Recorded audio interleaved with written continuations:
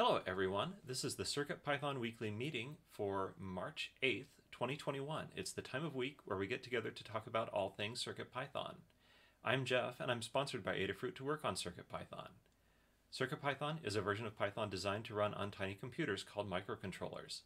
CircuitPython development is primarily sponsored by Adafruit, so if you want to support them and CircuitPython, consider purchasing hardware from adafruit.com. This meeting is hosted on the Adafruit Discord server. You can join anytime by going to adafru.it slash discord. We hold the meeting in the CircuitPython text channel and the CircuitPython voice channel. This meeting typically happens on Mondays at 12 p.m. Eastern, 11 a.m. Pacific, except when it coincides with a U.S. holiday. If the meeting time is changed, we'll notify you via Discord. If you wish to be notified about changes to the meeting, we can add you to the CircuitPythonistas Discord role. There's also a calendar available that we keep updated. Uh, and just a note, particularly for those outside the US, we will change to our summertime hours, also known as daylight saving time, next week. So if you're not um, aligned with those American um, clock changes, be aware that the meeting time changes by one hour next week. This meeting is recorded.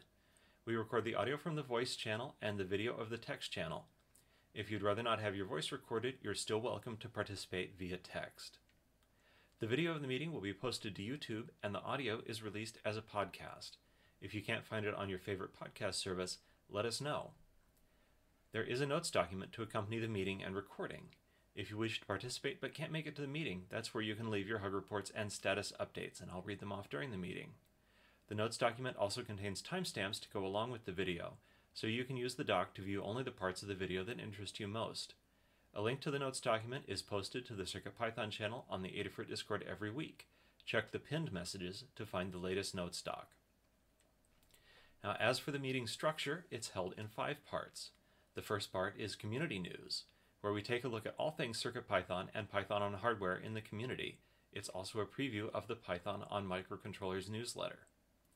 The second part is the state of CircuitPython, the libraries, and Blinka, a statistical overview of the entire project. It gives us a chance to look at the project by the numbers, separate from what we're all up to. The third part is Hug Reports, Hug Reports is an opportunity to highlight the good things folks are doing, taking the time to recognize the awesome folks in our community. The fourth is Status Updates. Status Updates is an opportunity to sync up on what we've all been up to. Take a couple of minutes and talk about what you've been doing in the last week since the last meeting and what you'll be up to over the next week until the next meeting. And the last part is In the Weeds, an opportunity for more long form discussions. These discussions can be a result of status updates or something you've identified ahead of time as too long for status updates. And that's how the meeting will go. And with that, I'm ready to take the first time code of the meeting as we transition to community news. Um, so first up, and uh, Foamy Guy, I don't know if you were going to be able to get the links today. Um, and if not, maybe Kattni can. But uh, CircuitPython 6.2.0 Beta 3 was released last week. It's the fourth beta release of CircuitPython 6.2.0 and has many fixes and enhancements. The big item is across most ports, it adds a second USB serial channel, but there's also a bitmap tool module and as well as the removal of the limitation of display.io.group size. So um, check out the release notes for a lot more and download it from circuitpython.org. Second big item, the Adafruit Feather RP2040 is available and in the Adafruit shop. And more are being fabbed all the time, so sign up to be notified when they are available. Uh, CircuitPython has been featured on the Tom's Hardware Pycast with, of course, our own uh, Scott Shawcroft. So there's a link to uh, YouTube and Twitter. And uh, I guess best place to pick up these links is in the notes document. Finally, some news from around the web. I've got links from GitHub and Twitter and Hackaday and YouTube. Um, we've got getting started with CircuitPython on the Raspberry Pi Pico with NeoPixel LEDs. A suite of tools, including CircuitPython, for building and uploading firmware, deploying files to devices, and testing modules. An adapter for a Raspberry Pi Pico to a Featherwing. A macro keypad that uses Raspberry Pi Pico and CircuitPython and second appearance from Scott, Uh, he was on the Simple Electronics podcast uh, last issue on YouTube. The CircuitPython Weekly Newsletter is a community run newsletter emailed every Tuesday. The complete art the complete archives are on adafruitdaily.com slash category slash circuitpython. It highlights the latest Python and hardware related news from around the web, including CircuitPython, Python, and MicroPython developments. To contribute your own news or project, edit next week's draft on GitHub and submit a pull request with the changes. You can also tag a tweet with hashtag CircuitPython on Twitter or email to cpnews at adafruit.com. And there will be a lot more in the newsletter. I looked at the draft before this meeting and good stuff, like always. With that, we will transition again to the state of CircuitPython, the libraries, and Blinka. This is a statistical overview uh, of how things are going, and uh, it's divided into several subparts. And I will start with overall and then hand it off to some of the other folks to tell you about the portions that they um, kind of take charge of. So overall, we had a huge number of pull requests merged, 52 pull requests from 23 authors. And pull requests are the way that the software moves forward and changes. And uh, having 23 authors means there were nearly two dozen people who improved CircuitPython in the last week, and that's just amazing. As well as I, I forget if I said the 11 reviewers, and so we also like to recognize uh, authors who are new or infrequent contributors, and I'll call out some of those names: Thomas 6G, Orbit Rasu, MKLHX, um, Tio Mitch, Adam Candy, Tyler Crumpton, Rotman, uh, and Admiral Maggie are uh, names that are less familiar or I think new. Uh, our, our 11 reviewers, thanks so much to them. Getting a review of the changes is always key because it makes sure that there are at least two pairs of eyes uh, on every problem and its resolution. If you uh, see your future potentially as a reviewer, we invite you to start by commenting on pull requests with I tested this, I looked over the code, it makes sense, I see a problem here, um, I see room for improvement, and uh, we would love to help you move up to being an official reviewer, which comes with rights and responsibilities like the ability to merge pull requests when appropriate. On the issues front, uh, we had 20 closed issues by 12 people and 23 open by 19 people. So the first thing to note is again the the range of engagement that we have um, from all these different people. We would prefer to see the number of issues not trend up over time, so we missed that this week uh, by increasing three issues. And with that, I will pass things over to Scott to tell us about the core of CircuitPython. Thank you, Jeff. All right, so in the core, we had eight pull requests merged from four different authors, KMatch98 and Tio Mitch uh, and Jerry Needell are all relatively new authors or, or infrequent authors. So thank you to those folks. We had three reviewers, so thank you to our reviewers, and we have 21 open pull requests, which is about uh, about normal for us. So um, if you are involved in any of those longer term pull requests that are open, please take a look and make sure that they're moving forwards. Um, otherwise, uh, thank you all to the folks that are making pull requests. Uh, issues wise, we had four closed issues by two people and five open by five people. So we're net up one for the core uh, for a total of 419 open issues. Uh, this does tend to trend upwards uh, slowly, uh, but that's that's potentially okay. We triage all issues using the milestone system, um, and we have seven issues that are not assigned to milestone, which means they haven't been triaged yet. But it's also like Monday morning uh, here in Seattle, at least, so we're going to work on that. Um, we have three different milestones for 6.x um, with a over 50 issues under those. So we're going to have to take a look at those. I think that's in Dan's plan anyway. And then we have seven issues for 7.0. Um, so that's where we are with PRs and issues, and generally things are moving. So thank you to everybody. Um, expect to see us kind of try to buckle down on 6.2 and uh, get a 6.2 stable out the door um, and then after 6.2 i think we're planning on going to 7.0 so you'll it'll be a longer a longer cycle after 6.2 uh, and we'll get some exciting stuff in Thank you, Scott. Mhm. Um, so next up is Kattni to tell us about the libraries. Thanks, Jeff. So across the libraries, uh, this applies to all Adafruit Circuit Python libraries and a few extra things, including the Circuit Python Community Bundle. Uh, we had 41 pull requests merged from 18 different authors, including most of the new names you read out, and 10 reviewers. Uh, we had two pull requests merged that were, or three that were over a week old, um, which is good, and most of them were three days or less, uh, leaving us with uh, 91 open pull requests, which is high, but there's a reason for that, which I will discuss later.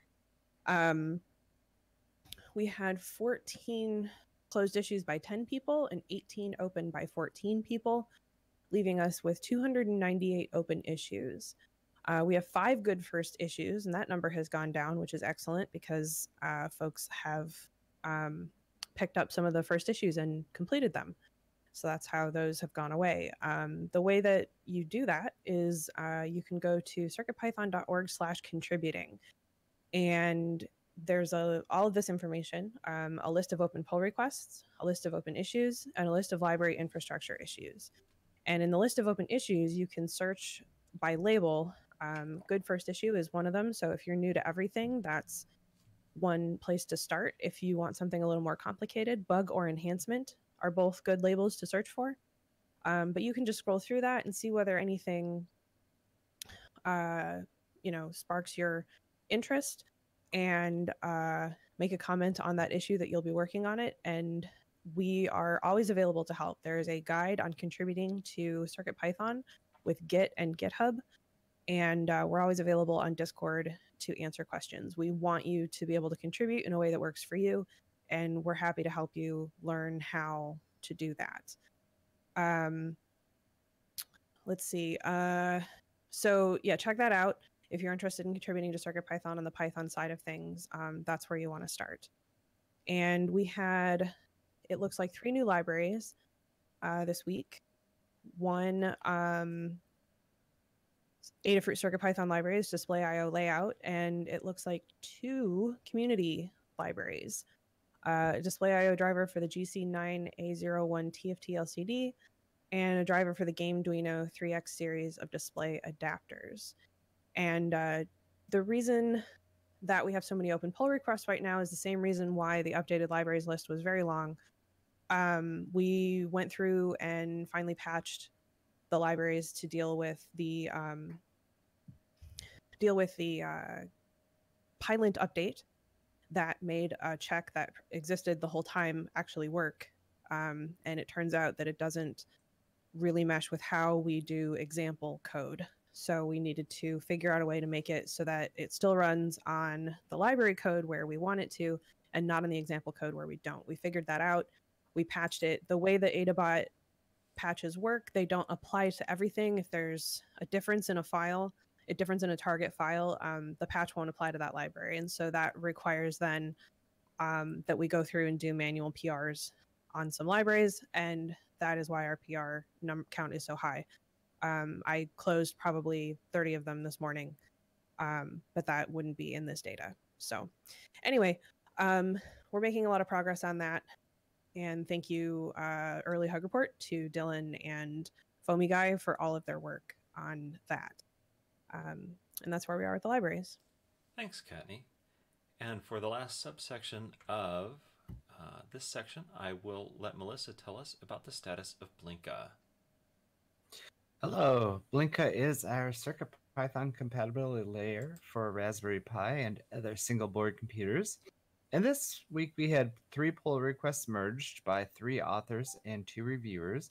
Uh, for the authors, I see TWA127, who's been a regular contributor, and Thomas6G, which I don't recall um, seeing any. Uh, they, they look new to me. Uh, and there's also Dan Halbert, who who contributes occasionally. Uh, there are were seven open pull requests at this point, and there were two closed issues by one person and zero open by zero people, leaving a net of 55 open issues.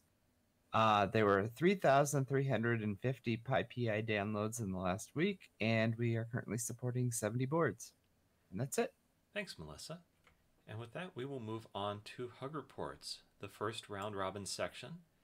Um, it's a time for a little positivity and a little thankfulness for what the people around us are doing. And I will start and go through the document in the order that it is here. Um, and just a reminder that if you don't put yourself in the notes document, we will assume you're just listening in, and we're happy to have you. Uh, so first, I wanted to give a hug report uh, to Scott for being a sounding board and problem solver for my PIO work. Uh, that's something that's been going on for, for the past few weeks, and um, I've really caught my stride with it, and it, it took some help getting there. I've got like three thanks for Dan this week, uh, helping me with uh, getting the bootloader installed on my Adalogger, Feather M0 Adalogger, for finding a really, really good clue about these problems we've been having with I squared C on the ESP32S2. And then for hug reports for Dan, uh, Scott, and Lady Ada, and others who I think I've probably missed, uh, for reviews and tests on the PRs I've been putting in. And uh, last but not least, to uh, on GitHub, a new contributor with some small cleanup PRs. It's fun to see a new face coming in and in this case, paying attention to some stuff that maybe we didn't pay attention to, and just bringing bringing small improvements is great. Uh, so with that, I will pass it to Jerry, and then after that, we will go on to Jose David. Uh, hello. Um, let's see. Yeah, thanks to Dan and KMatch98 for the quick fix to the little display I issue that popped up last week. I think it was last week and uh, and I asked NIS for some great tips on getting uh, eForth running on the STM boards. Uh, something he's been very fond of doing, and and uh, it's kind of fun to play around a little bit. And uh, Jeff you for uh, again, once again, explaining to me how to use pre-commit. It's nice to actually do it this time. And all the community moderators for all the moderating. Um, you all make this a better place, and especially thanks to Andon for handling a tricky issue this week. Thanks, Jerry. All right, next I will hand things to Jose David, and if you would let me know how to pronounce your name, I'll try to do better in the future. Yeah, it's, it's Jose David. Okay. Thank you. So, her report to Scott uh, to share uh, CircuitPython in uh, both Tom's Hardware and Simple Electronics is, uh, was a really great discussion. To hug report to FoamyGuy for uh, the refactor in the display text li- library. Uh, he took the job and ran away with it when I couldn't find a, an exit. And also her report to Dan to fix the transpose XY in the TileGrid library. Thank you. It's uh, nice to have you here with us today. Thank you. All right. Uh, so next up is Kattni and then KMatch 98. All right. So first up, I have a hug report for Dylan for writing up and running the patch on the libraries to move Pylint to the pre-commit and updating Pylint RC. Um, to FoamyGuy for helping with updating the list of libraries that were skipped by the patch for various reasons a group hug to all of our contributors during the interim Pylint update. Thank you for your patience with us taking the time to find the right solution instead of a quick solution. A hug report to Andon on Discord for handling a particularly involved moderation situation last week. To all the community moderators for all their help keeping this community amazing. To Crayola for working on a dark mode for my website theme. To the Adafruit Learn Dev team, that's the folks that work on the Learn system uh, where all of our guides are kept, for being super responsive to bug reports and feature requests. Uh, to Maker Melissa and Dan for nice chats in the last week. To Anne for continuing to train me up on the newsletter. And to SAK917 on uh, GitHub for picking up a good first issue and offering to pick up more. That's awesome. All right. Uh, K-Match 98 is next, and then Melissa. Okay, thanks, Jeff. So first off, thanks to Deshipu for updating the Display.io group, make it um, more flexible. Uh, Kattni and Dan H, thank you uh, too for the help on the library documentation and how to make that work. Uh, next to Foamy Guy and Scott for, for uh, PR reviews and constructive comments. Uh, next to Jose and Foamy Guy for the display text consolidation, uh, things that should set the stage for the future. And last, thanks to todbot for the Discord demo of a cool dial gauge, and in particular, some discussion on how to improve the performance of display. Thanks. All right. Uh, I will hand it to Melissa, and then we will go to Scott. Hello. Uh, uh, the I will give a report to be cloud for um, factoring work. Is 30, 37 library. That's the Melissa, your audio was working really well earlier, but now it's not working so well. Do you Let me try I- something. Please Let do. me try something. Okay, does that sound any better? Yeah, get, get back into it, and we'll see. Okay, um, I wanted to start by giving a hug report to David Glaude for your work refactoring the IS31FL3731 library, uh, to Foamy Guy for testing the portal based changes, to Tom Array for uh, submitting the RockPi 4C board, to Kattni for a nice chat, and a group hug to everyone else. All right. Whatever you changed, it sure worked. Heh. All right. Um, so on deck, uh, I have notes from C. Grover, uh, but now I'll hand it over to Scott. Hello. Uh, first, uh, hug report to you, Jeff, for the VM size optimization. Uh, hug report to Gambler for both Count IO and Parallel Bus uh, for the RP 2040. Hug report to Dave Putz for Pulse In, and a hug report for Nits for the board def for the R the NRF 52840 micromod. I'm I just got some and I'm going to use them this week, so it's perfect timing. That's it for me. Great. Uh, so after notes from C. Grover, I, uh, Dan is next after that. So C. Grover thanks Zodius Infuser for insightful observations about DRV 8830 style motor controllers. Took my brush DC motor game up a notch or two and will require a comprehensive rewrite of my recent learning guide. And a hug to John Park for his inspirational and uber jazzy work on two recent projects the Pico Keyboard and Retro Reflection Workshop. Amazing. Uh, so I'll hand things to Dan and then after that to David. Thank you. Okay, uh, thanks to John Tusak, who's been doing a ton of work on a, a sleep pull request for the NRF. Uh, it's basically uh, done now, and I have to review and test it. But uh, they did a lot of work on it, drew diagrams. It's wrote in, in uh, wrote up things in between. It's really a wonderful job. So thank you. Uh, thanks to to Jeff for your excellent shrinks in the firmware size that you discovered. That saves us. We can fill it up with something else again. um, thanks to Microdev, who's working on uh, the long-term prog- process of um, merging from MicroPython upstream, and they've started. They did a bunch of. They did an initial some initial work, and are now doing some more systematic work to make it easier to do. Uh, thanks to KMatch 98 to review the tile grid transpose issue that came up at the last minute before the release last week. Um, thanks to Deshipu for removing the really um, thing that I always ran into, which was how many things can you put in a group. Thanks for taking that away, and thanks to Scott for working on uh, the RP2040 flash for making it variable size and for doing it very quickly and doing a uh, sort of a simple cleanup of that very quickly. All right. All right. It looks like I will be reading David's notes, and then after that is Foamy Guy. So David writes a hug for tannewt for the special guest appearance on the PieCast. And apparently David could guess an answer Scott would give. I, I don't know the context of that, so we'll all have to listen to PieCast together after this. Uh, a hug to Arturo182 for sharing and exchange on his RP2040 board, trying to have a GPIO mapping compatible with the I2S hat slash bonnet. Uh, a hug report to me for the PIO Learn Guide.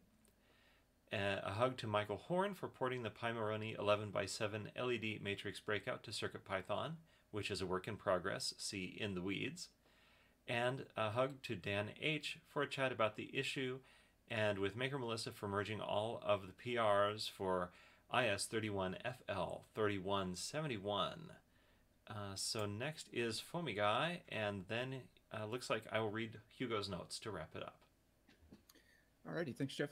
Um, this week, hug first one to uh, Deshipu. Um, a couple people have mentioned Deshipu removed a restriction on display a group, um, so now you can have as keep just keep adding things to it without having to worry about max size, um, and that's really cool. So big thanks there um, to Dan H and K Match for fixing an issue that came out of that um, real quickly. I think over the weekend um, to Jose Jose David uh, for the uh, enhancements in display text. I threw out a, an idea um, to make it so that anchored positioning could be used with the baseline, um, similar to the way that it uh, now works with XY in the recent update. Um, and Jose got that taken care of real fast also. Um, to Scott for being on the the Tom Sawyer podcast. It was a great listen, um, and uh, also particularly for giving me a mention um, in there. I was honored to to hear that. Um, to Dan H and Microdev uh, this morning for some help with Git, um, helping me figure out a way to use pre-commit and have it avoid checking on files that are not actually relevant uh, to what I'm doing. And then lastly to Kmatch uh, for working on a fix inside the bitmap label uh, when I found a, an issue that popped up from a strange font file that has some weird stuff inside of it. Um, and that's all I got this week. Thanks. All right. I will have to scroll back and look for that um, pre commit advice because I, I saw the conversation start and didn't see the conclusion. All right. Uh, so I have notes from Hugo, uh, who sends a hug report to Foamy Guy for Saturday's stream. To KMatch98 and Foamy Guy again, hug reports for educating me and setting me straight, I think, on what blitting is, uh, to Jepler, Dan H. Kattni, tannewt, and others who were involved in the translations and build discussion, very interesting and enlightening, and for special consideration on International Women's Day, but always thankful and grateful, my mom, the strong kick butt woman who took uh, from, from nobody and put them in their place where necessary, and all the other women who made me who I am today all the credit lies with them, all the blame rests on me. And all the other women and those who identify as women for being the strong, courageous, wonderful individuals that you are, for making the world a better place in your own special and talented ways. Thank you. And that's a really heartwarming way to wrap up Hug Reports. That's a good end. That's a cool end. Charles, could you please mute? All right. Um, with that, we will move on to status updates, which is also conducted in a round robin, but it's a time to let us know what you've been up to since the last meeting and what you hope to uh, accomplish before we get a chance to meet again. And I will start and we will go in the same uh, document order. So, uh, last week in the Learn system, I published a guide on doing PIO with CircuitPython I think we ended up with three or four different examples. And it was always, uh, it was also, as I mentioned, a great way for me to learn about PIO because, like everybody else did, um, it, it was a, a new thing to learn about. So that was a lot of fun. And I've just continued to get more comfortable with the PIO and the RP2040 generally. And that feeds into kind of the big pull request that I made last week which enables the rotary I/O module on RP2040 boards. Uh, that is, I believe, getting close to being merged. It's been tested out, but um, Scott's going to take a look and see whether there are any uh, style or substance items to work on. And with that will come some improvements to the Python API. Namely, you will be able to call the in-waiting method for a PIO program that produces output irregularly, which is kind of how a quadrature encoder uh, works. And I also spent some time looking for firmware size savings, and to my astonishment, I found a way to get back 1500 bytes, which isn't a lot. Uh, it's enough for about one and a half chess games, uh, but it's more than we're used to finding, so that will give us a little room for comfort as we uh, work on particularly keeping the M0 builds uh, from overflowing. And there's probably other randomness that I forgot, but this list already sounds pretty long. So uh, thanks, David, for um, explaining the joke. In case you haven't seen it, there's a, a 1K implementation of chess that's not bad, um, at least for a beginner chess player like me. Anyway, so uh, this week I wrote that there is a was a PCF font problem that I wanted to look into, but I actually diagnosed and solved that before the meeting, and there's a pull request in for that. Um, I've been working on a personal project, which is a big LED matrix clock that receives the so-called atomic clock signal from uh, Colorado called WWVB. That's getting really close to being a finished thing. Um, as far as my CircuitPython work goes, um, I'm going to be focusing on uh, creating some more video content that uh, will eventually come out somewhere under the Adafruit umbrella and uh, working on some more guide stuff. Um, and there's the third item. Oh, I'm going to investigate whether the performance of the Pico is good enough to let us enable uh, MP3s and or audio mixer. Um, that's kind of an exploratory thing that I'll spend uh, maybe a day on, and and then we'll decide if it's uh, going to work out or not. And anyway, the fun stuff I alluded to last Saturday, our clothes washer died. It was 19, so it had a good life, and the replacement will be delivered tomorrow. So all is well, but uh, not what we expected to be spending our, our time or money on, right? Uh, anyway, um, next up is Jerry and then Jose David. There's that button. All right, thanks. I, I got to change my name. It's no fun. I always feel like such a slacker, like such a slacker going after you, Jeff. Oh, don't sweat it.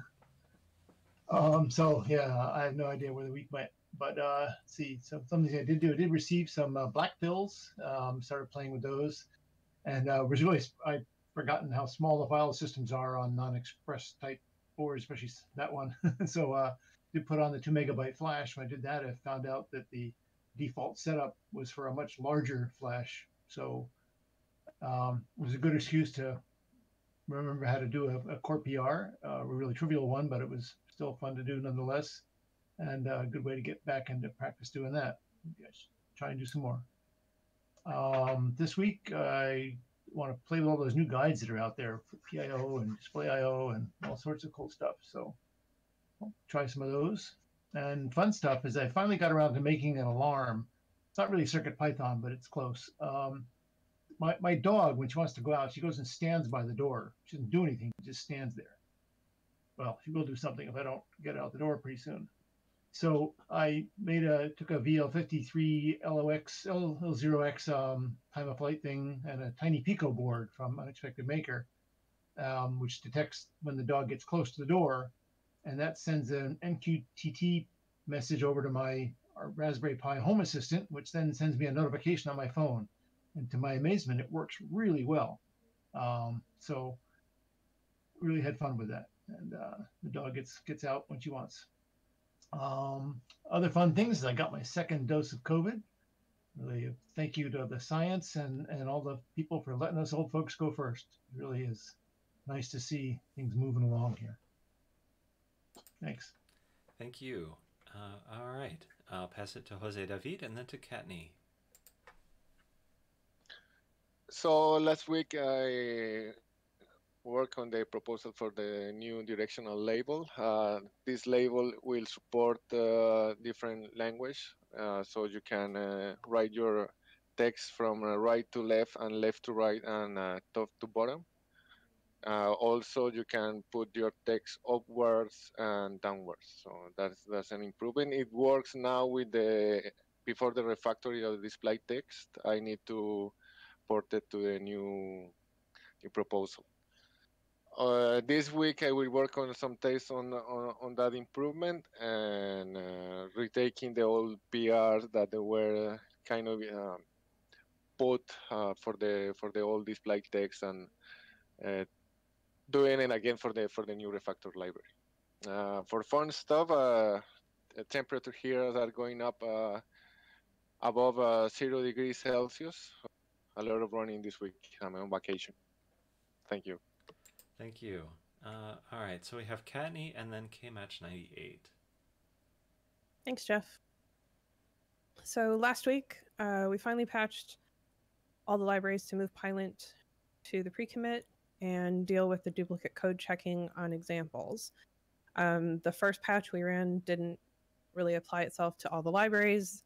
There's a flag you can build the patch with, and typically, if you run it with this flag, it's supposed to apply to more libraries, but for whatever reason, um, this time, it decided that it would apply itself to more libraries without the flag. So it took us a few tries. Um, we also uh, applied a patch that broke everything for as long as it took us to write another patch to revert it. Um, so we had some fun with that.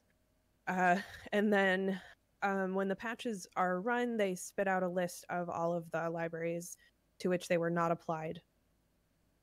And um, so we took that list and uh, a second hug report to Foamy Guy for uh, basically taking that whole list and verifying that whatever the patch missed was updated. Um, so that was super helpful.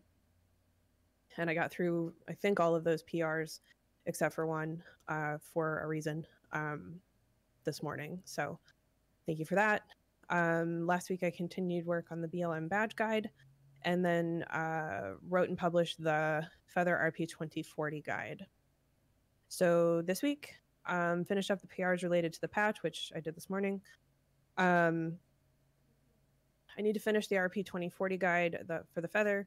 There's one page that was copied in that's a Feather generic um, page about uh, battery and USB, and so I need to update that to be RP 2040 specific. And um, the pinouts page, uh, because the RP 2040 has a lot of capabilities on a lot of different pins, um, but there's some situations where you can't use like two different sets of pins because they would collide. Um, the uh, Dan went through it after I wrote it, said it was all clear, but suggested providing a sort of backwards lookup. So instead of just listing the pins and what their capabilities are, list the capabilities and what the available pins are as well. Um, I didn't have time to do that last week, so we published the guide, but I want to add that sort of reverse lookup type thing um, list to the pinouts page as well. Then next up is update the guide for the AMG 8833, which is a thermal camera. We revised the board to be a STEMMA QT board. And so there's a series of things that need to be updated in the guide uh, to reflect the STEMMA QT revision.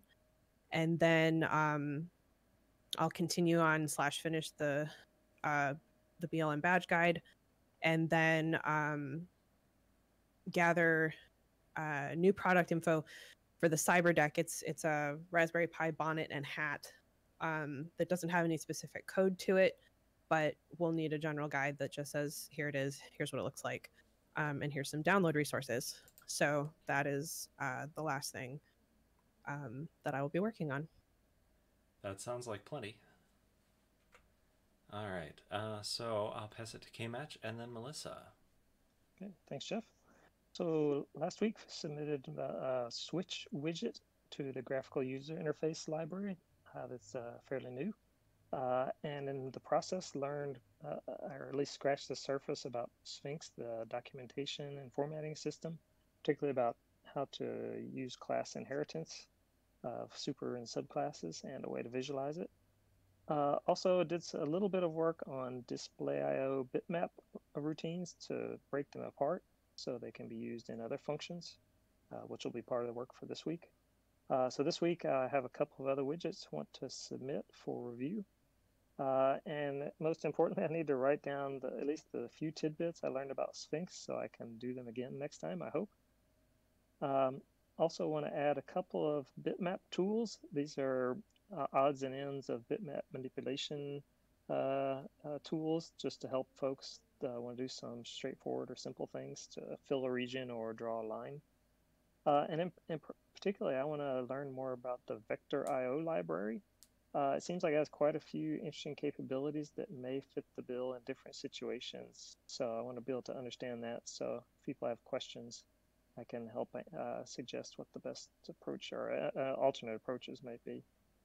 and along the lines of fun stuff, we had uh, uh, sort of extended cold weather here in Austin a few weeks ago. So uh, as part of that, had some some uh, repairs to make on my daughter's well system, but it should be good to go for the next 25 years after this.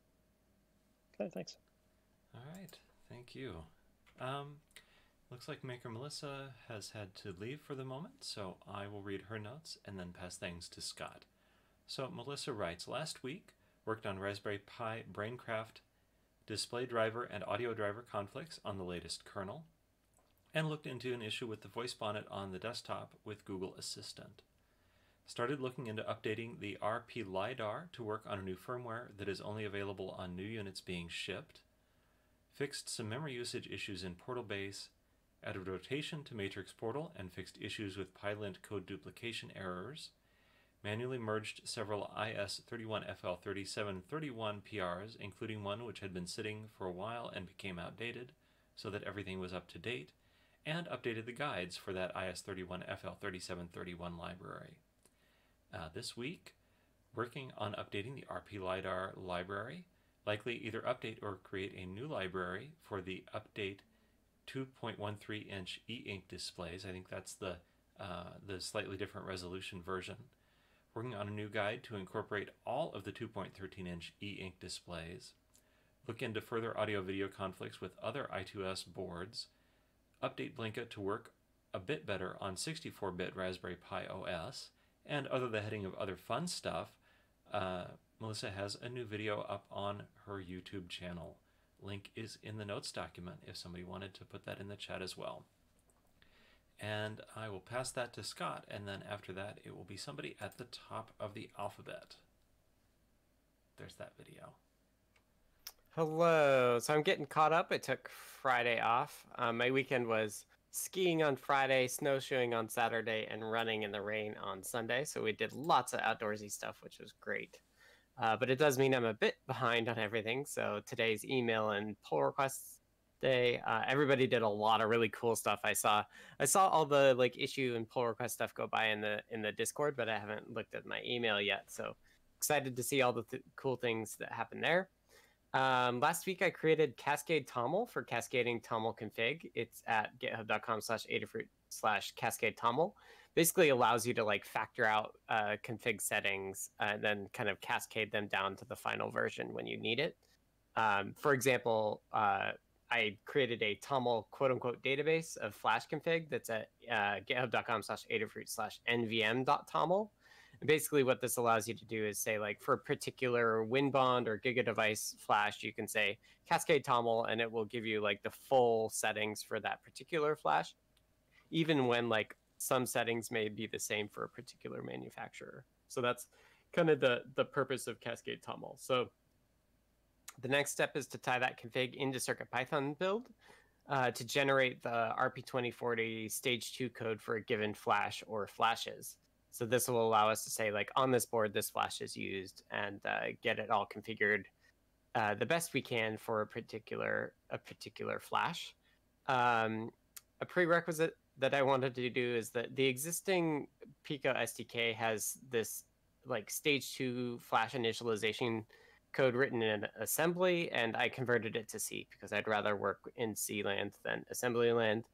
Uh, so I got the basic stage two work running uh, last week in C, and so this week I'll I'll further uh, add some features to that C code along with uh, the ability to actually like change its contents based on the flash settings from the TOML files, um, and that that will be a longer term way for us to handle flashes uh, in all of the ports. But for now, just the RP2040 is the one that's changing. Um, so that's that's my main work right now. Thanks, Scott. Uh, I have notes from C. Grover, and then uh, it's time for Dan. Uh, so C. Grover writes, continuing on the brushed DC motor quest, working on an update to the CircuitPython motor library to allow selecting the decay mode of most modern motor controller chips and boards. The default coasting decay mode doesn't take full advantage of the more effective braking decay mode available in newer controller chips. Using braking mode Using braking mode establishes a directly proportional relationship between throttle and motor RPM, very handy for controlling robot velocity and calculating distance traveled.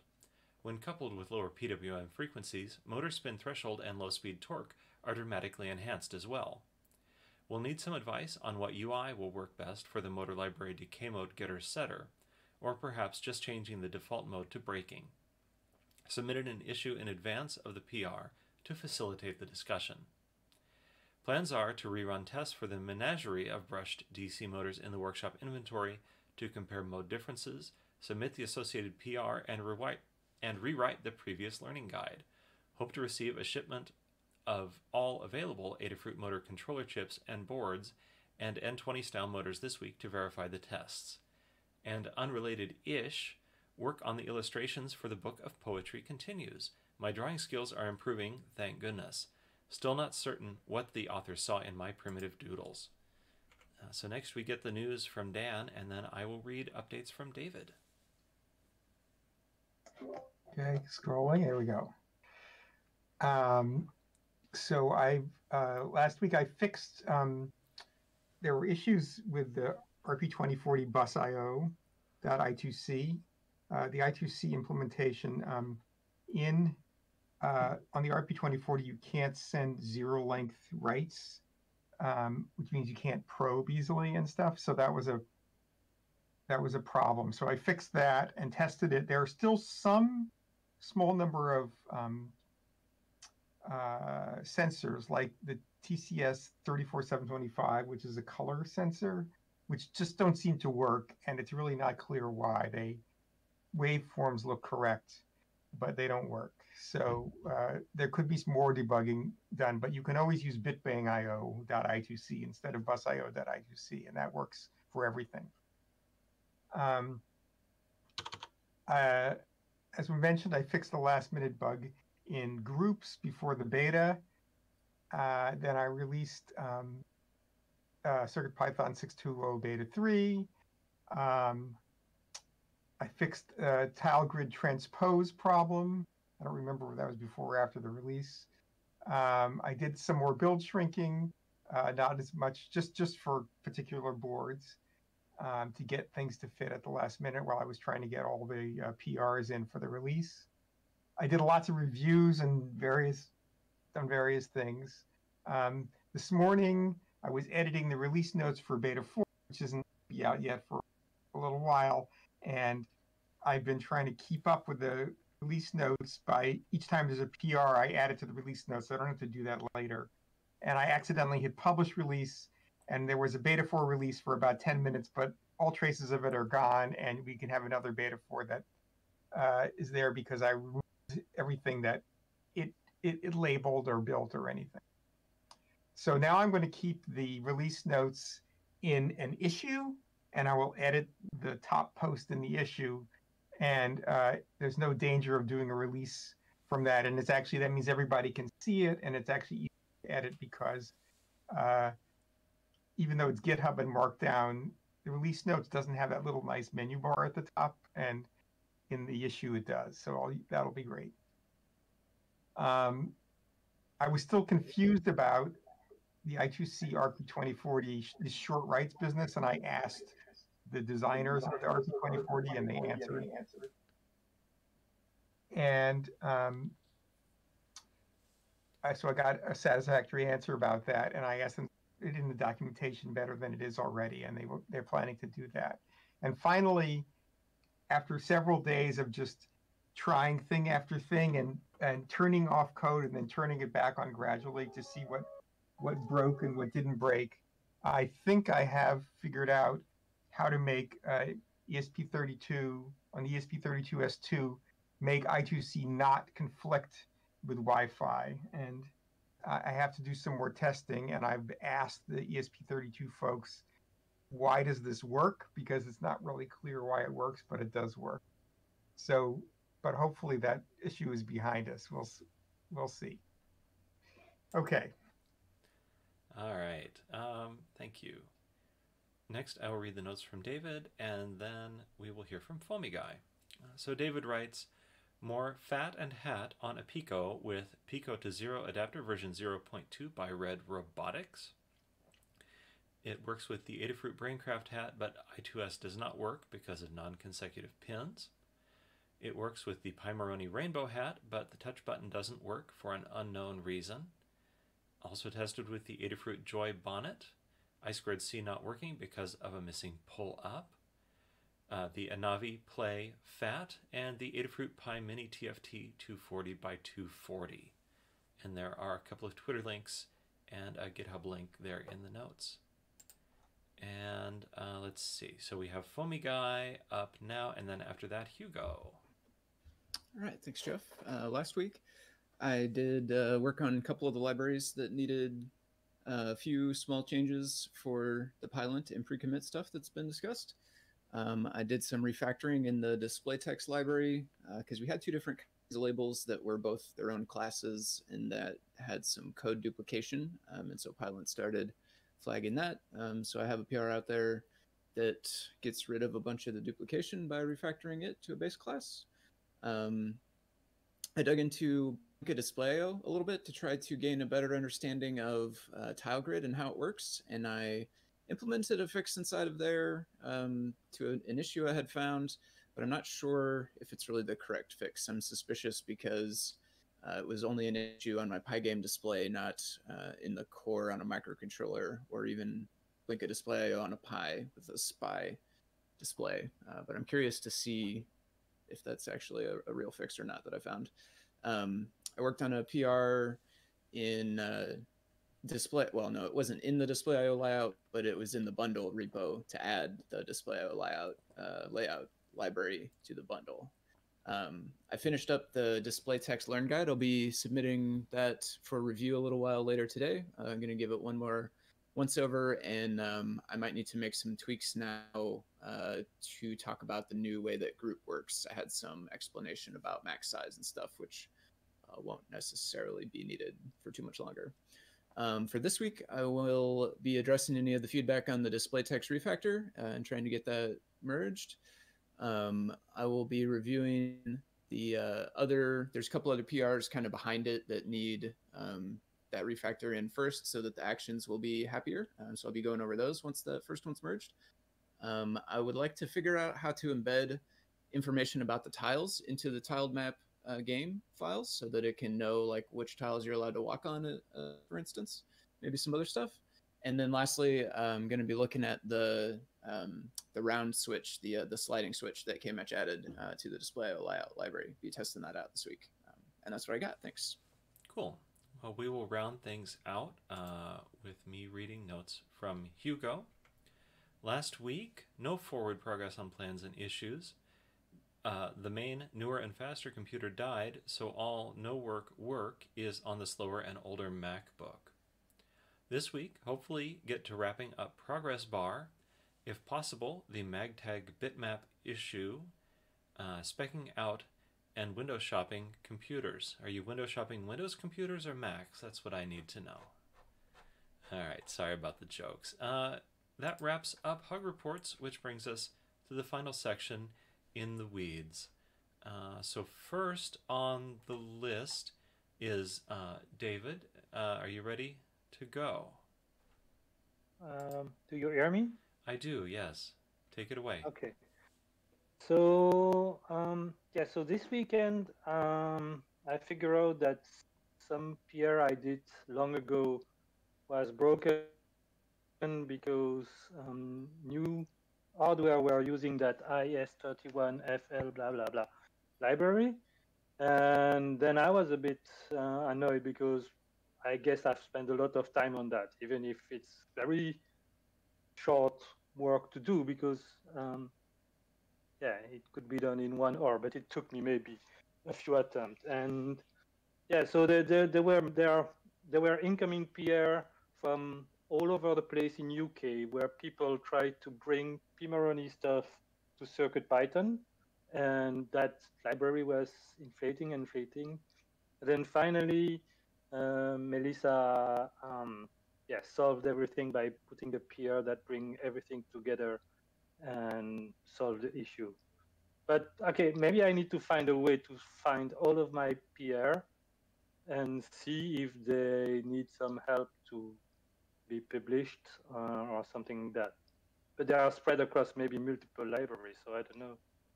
to search for that in GitHub. Um, so that question, um, I can tell you that when you log into GitHub, um, just on the front page, there's a link that you can click to see Oh. all of your open pull requests across all of GitHub, and that is a pretty Everything. useful area. Yeah. Um, so Okay. if you can't find that still, we can kind of walk through it after the meeting while I'm not on mic. Um, but yeah, so Yeah, so- definitely but I- finding I all of your pull requests can be done. I understand that's not the whole issue you're trying to raise, though. Well, I mean, he- here the, the issue was mostly that I should have been following that PR and pushing for someone to incorporate that. Um, because if it stayed too long as a PR state, then you get conflict. And yeah, conflict can be solved, but you need a bit of Git um, ninja stuff, which is I've done rebased in the past, but it's a fight every time. Uh, so yeah. Um, and yeah, and the second, I don't know if someone wants to discuss that, but everything has been solved already. So, uh, So I- there are notes and whatever. The only the only other feedback I would give about Git being hard is like just folks should always make sure that the box for allowing maintainers to edit your branch is checked. Um, because I'm totally willing to go in and like rebase for folks if they if they think that's uh, if they don't have that experience and don't want to do it. Um, Okay, and the, and the other one is related. Um, is, is that Michael On, which is having a big, I guess it's big, or what I'm following that since a few years, blog about Raspberry Pi and Node Microbit. Uh, wanted to use one of those devices that use that library, and for some reason he did believe that he need to create MPY file and that led him to believe that he need to install w- WSL on his Windows to compile something like the mpy-cross. And he made a blog post that explained that horrible story uh, where it seems very complicated to contribute, where, yeah, I've, I almost never do MPY files because that's automatic. Um, and I'm never going to compile and install that on a Windows machine. But um, and so I was trying to figure out what went wrong, and um, yeah, I mean, if, if he came to the Discord, he would have had instantaneous help.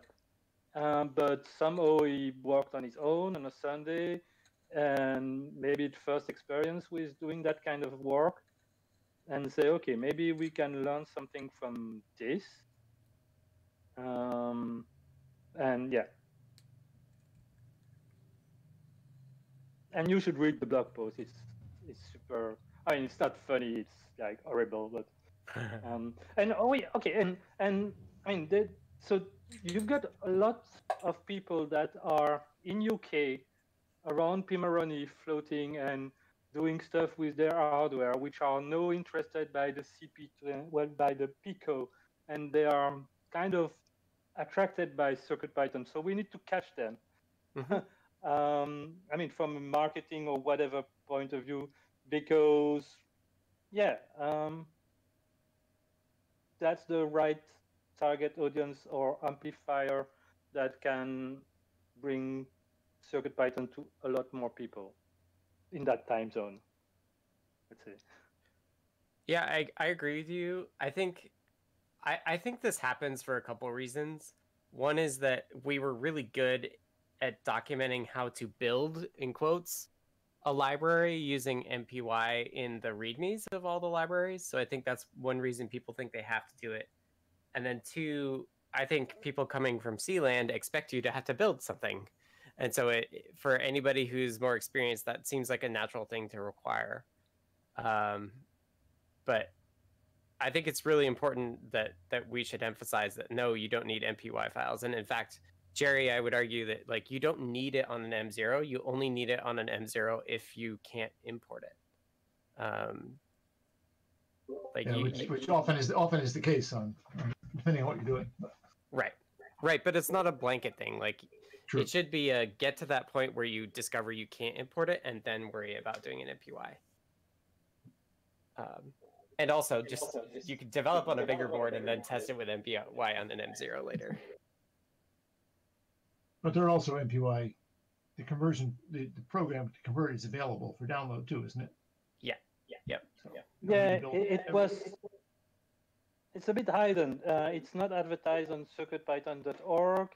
Um, it was not advertised in that forum discussion on how to compile it yourself. Uh, so yeah, I found it because I know it exists.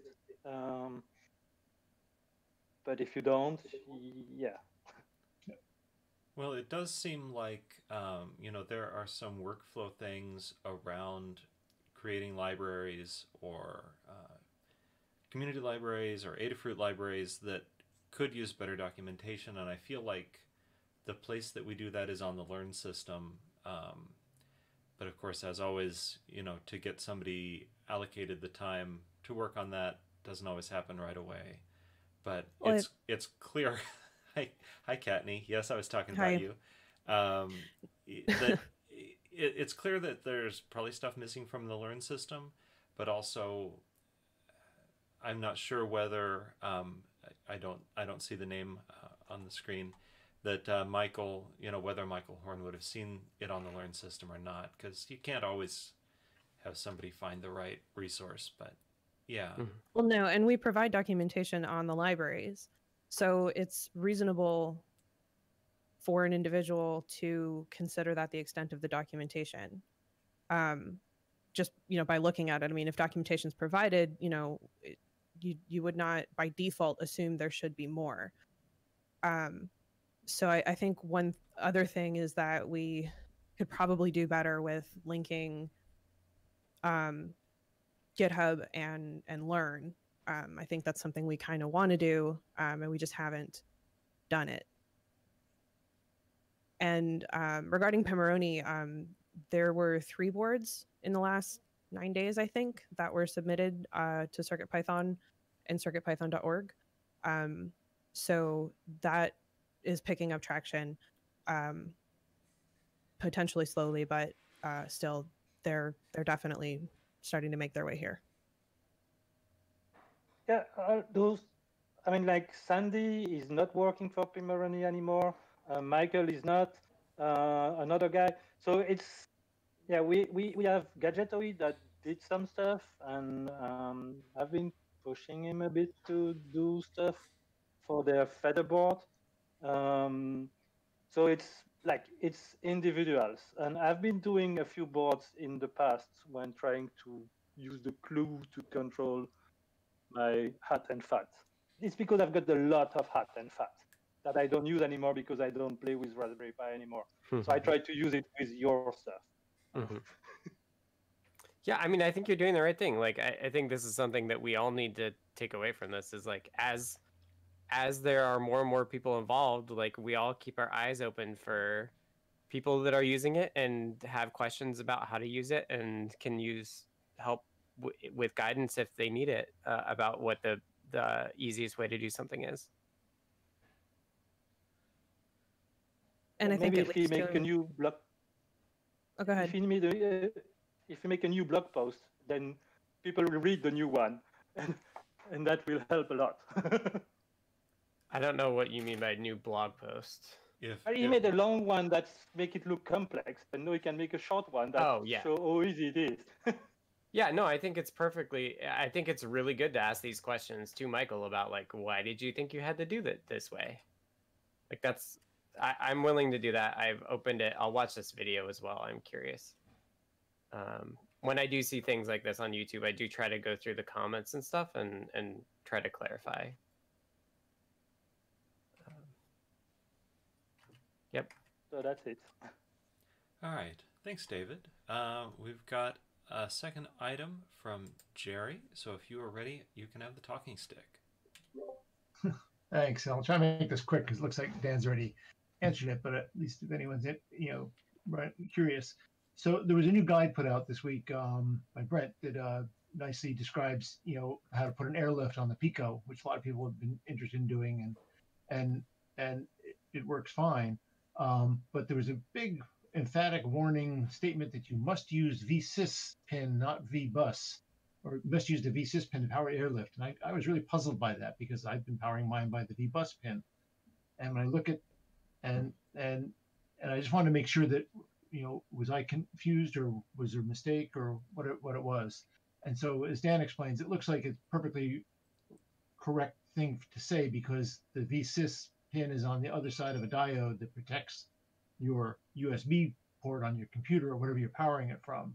So that makes a lot of sense. But it does, I think there are some things you have to be careful of, aware of, that when you read the data sheet for the for the Raspberry for the Pico, it does say you know vSys has a much broader range of voltages it can run on that are broader than what the airlift could run on. So you could get yourself into some, some problems with that. But at least I think I think I understand what Dan's saying that in general, if you're just plugging a USB port into VBus, you're better off powering something external extra from Z- VSys rather than VBus, just in case you short something or do something bad when you're wiring it up.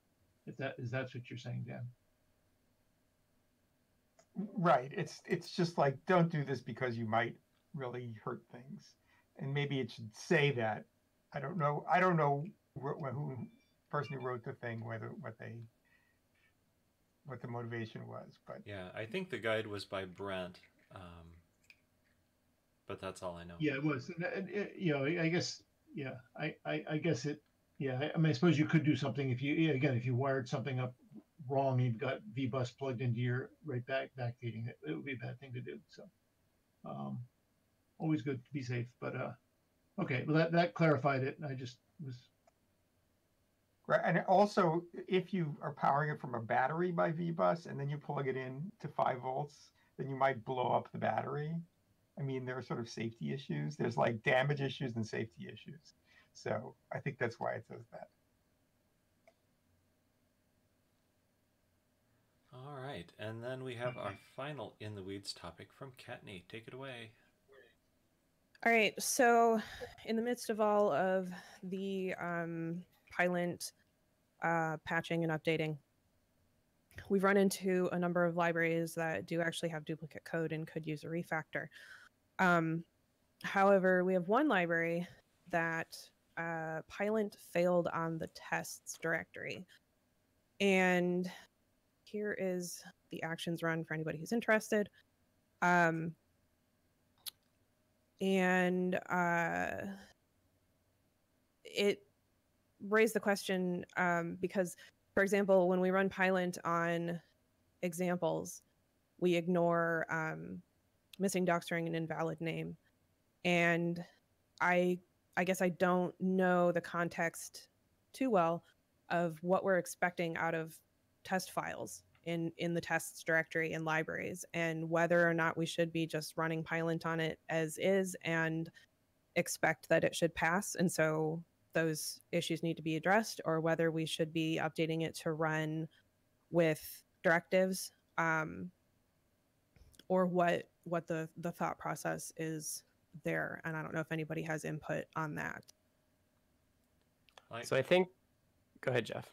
I'll just interject that I also encountered this today on the bitmap font library, and in the with tests with- specifically I, it was either test or tests.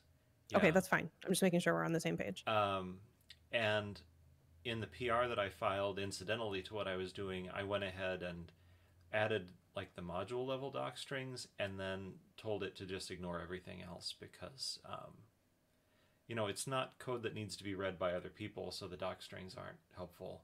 And that's the decision I made in the spur of the moment, but it's not necessarily the one we should adopt.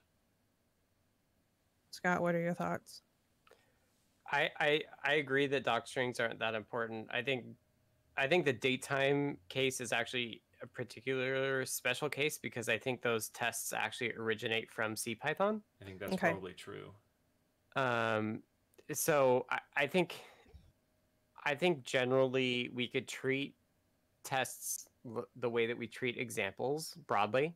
okay And then for specific cases where there's weird stuff that still is not passing, which I suspect datetime will have, Yeah. um, I would just at the top of the file say we're going to disable these checks because we copied this code from CPython Okay. and we want it to stay the same.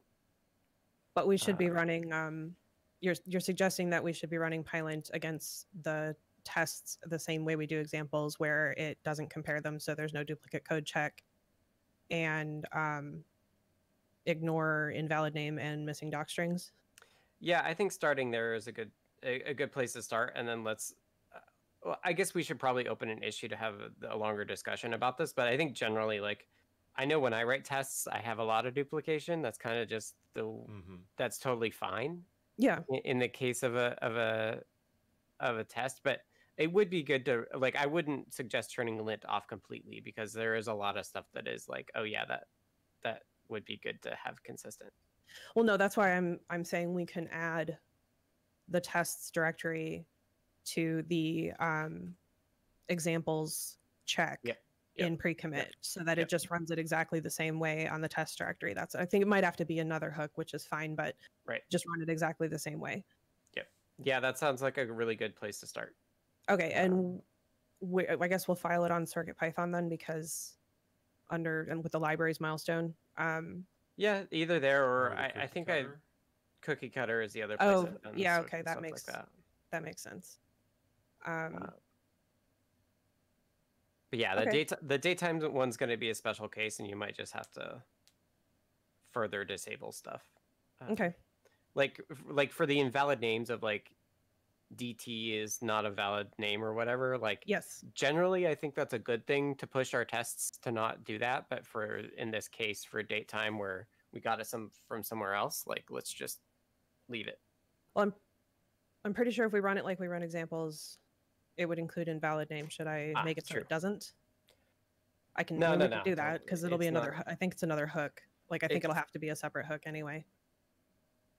I think mostly the reason that we have invalid name on there is because in examples, a lot of variables are at the top level, hmm and uh, Pylint accepts expects those to be like all caps, like Correct. like globals. Yep. Yep. Um, I mean, we could try it. We could try not doing invalid name on okay. on tests, um, but for the datetime ones, we'll have to explicitly Right. Do it. No, I understand. So yeah, Yep. date time is special. It is. But we're so glad to have it. I will. Um, I will probably involve Brent then, uh, as I believe he wrote it, and um, just let him know that the plan is to just basically disable um, individual things as we go, so that Okay. it passes because we're, you know, pulling it from somewhere else. Right. Yeah, And and, I I think will- just at the top level, it should work. Agreed. Um, and I will file an issue on Cookie Cutter then, and then um, I will. Uh, I guess I'll talk to to Dylan about getting that added. Um, because we'll have to run another patch.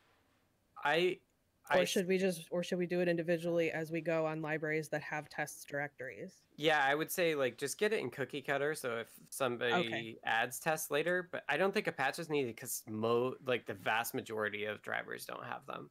Like Okay.